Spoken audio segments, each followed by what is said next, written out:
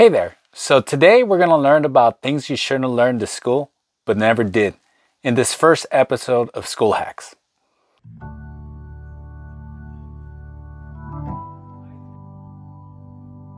Now, if you're joining me for the first time, my name is Jaime Sandoval. I'm an educator. I've been educating for 14 years. And just to be clear, this is independent from my education as a teacher. So with that, let's go ahead and get started. One of the things that I love to do is I love to educate. And I've come to discover that a lot of times there's these life lessons that are important for you to learn, but they don't easily fit inside our school system. So as a result, one of the things that I do is that I would like for you to share with you and kind of examine them. You know, me being a math teacher, I love Venn diagrams. And I also love showing things in relation to how they affect and provide your life. So what I'll do is we're going to go through and do a quicker kind of examination as far as how this will help you and your life. And the first thing I want to explore is that who. So who does this apply to? Who does pushing yourself because nobody's going to do it apply to? And I know that quickly you start thinking about well, of me, of course, but you also start thinking about your family members, people that you love and care for. And so the thing comes into question is this all the time, I see this, when it comes to me personally, I see the who in everywhere.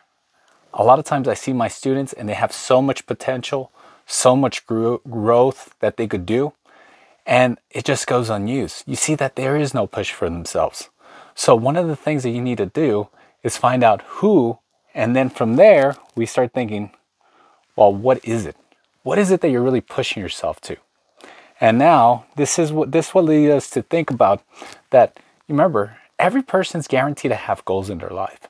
So it's very common not to push yourself just because it requires focus. It requires for you to go ahead and actually put some thought into some actions. And we always know that you know, it's not the easiest thing. You know, we work, you know, when you walk, a lot of times you're using reflex. And this reflex, it just means that you're not putting any thought or anything to it. So it's very easy for you. But when it comes to something new and you actually have to put thought to it, that's when it becomes more difficult.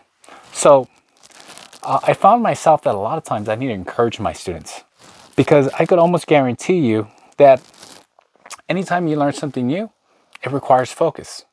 So that's what it's important to actually keep that in mind. Now, where does this happen? Where does pushing yourself because nobody's going to do it for you happen? Well, I can guarantee someone in your sometimes in your life you've pushed yourself. And nevertheless, you have to identify in your past times that you should have pushed yourself and didn't, and the other way around.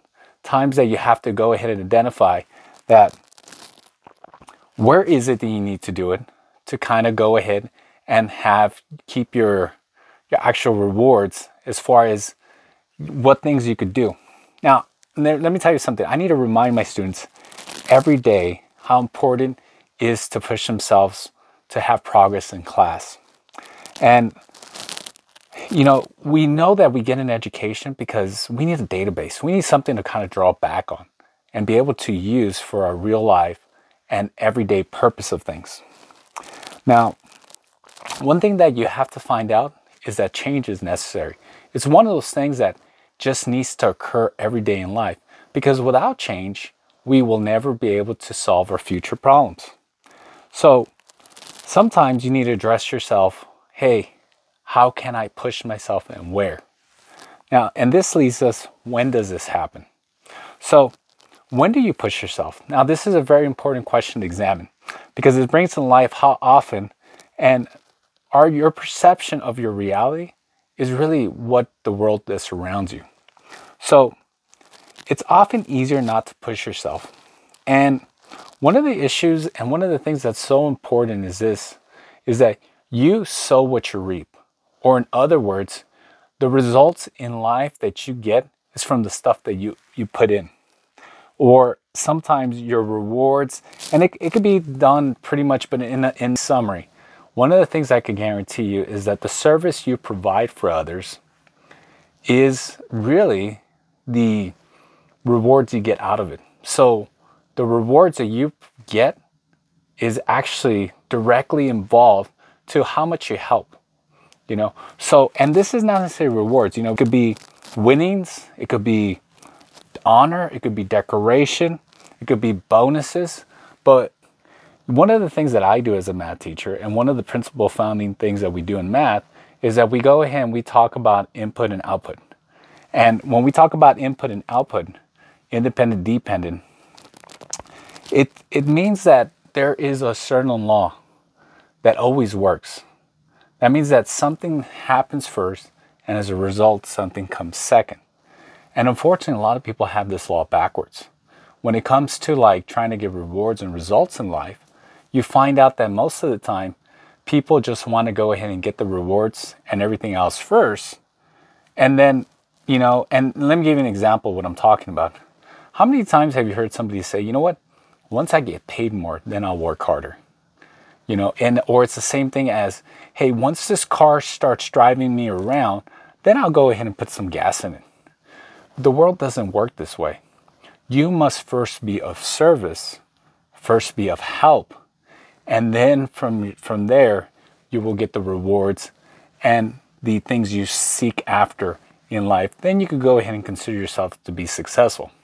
So it's important that you go ahead and keep that in mind that when you push yourself, it's because you're trying to have something come about and it's really in relation to help others. And one of the things I want you to, to kind of to prove to you and see, if you look at them, all the, the biggest corporations or the biggest businesses in the world, you find out that most of them, they went ahead, they serve a lot of people. Talk about Instagram, talk about Facebook, uh, Google, all these companies. What do they do? They help, they serve you. And as a result, they're wildly successful. So you have to think about yourself in this kind of fashion. Are you doing something to make yourself successful? Now, this brings us into the why. Why do you want to push yourself? This is something that I want to go ahead and make very personal. I want you to think about, you know, if you're sitting there at the end of your life, you know, we're talking about you're sitting there at a wheelchair, looking at the sunset, you know, looking at giving the, you know, you got to think, you know, did I accomplish everything I wanted to accomplish? Did I go ahead and live my dream the way I wanted to live it? And as an educator, it's really one of the hardest things that I need to do of really share with them the why is so important to do all these things. Now, keep in mind, right now, you're in a special age of life. Nowhere at this time is going to be the same because you have to find out that right now your brain is wired to learn. Since it's wired to learn, right now you have the ability to take concepts, to grasp them, to learn them. And you find out that you kind of, you know, they've done studies and it's about to the age of 25. So the thing you got to keep in mind that this being the time of when you have sometimes the greatest window of opportunity is the greatest reason why you should push yourself. Because you could go ahead and find out that at this level, you have the biggest potential to take your creative power and make it great for somebody else. Now, keep in mind, this is the definition of genius. So, how do you go about doing this? Now, the easiest thing is you just got to start doing it. You know, you got to think that there's two mechanisms at play here when you start thinking about anytime you bring something about. There's the mind and the body, and they're both interconnected. You can't separate one from the other. And I think it's very important for you to know that one is interconnected with the other. And one of the things I like to refer to is a bike, just because everybody could relate to a bike. And you have to realize that at times, the thing that is best for most people is when everything, when you go on the pedals and everything just flows so great and so easy. Because you just get on there, you're on the right gear, you're on the right surface, everything just flows. But you got to keep in mind that sometimes you get on the pedals and they're hard.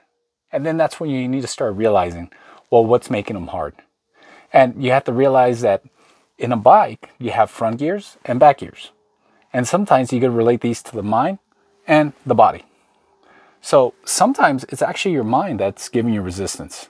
Your mind doesn't want to push yourself. And that's when you got to go ahead and, with the use of your back ears, go ahead and start pushing. Because when you start pushing, you start getting momentum and they start working and interlocking. And then you can start shifting. And from there, then all of a sudden the pedals will start getting loose. Or sometimes the other way around. Your mind is there. You know, like all those gears right there, they're they're good. But when you're when you sit there and you and you start analyzing why is it difficult, it's because your body's not in agreement with you. That's when you still start need to start doing the same. You need to start just pushing because eventually it's all going to start happening forward. Now, there's people that have asked me how to go ahead and support this. Um, go ahead and hit like, go ahead and subscribe, share the video. That's the greatest support we could get. And as always, I thank you for sharing your time and being with us. Bye, everybody.